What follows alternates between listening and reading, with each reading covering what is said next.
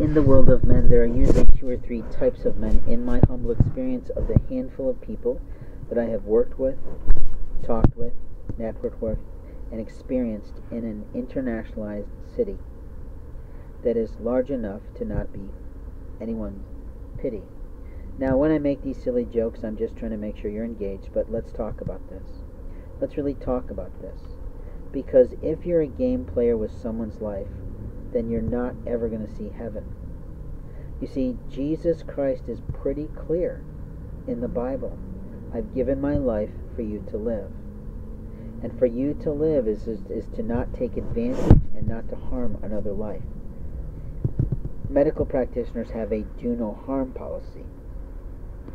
And yet they harm people every day with bad decisions, indiscretions, taking away rights and they don't have the right to do it under any federal law or international treaty. So let's begin with that. I've said it many times, but I'm just going to restate it at this time. You have no lawful right to practice malfeasance.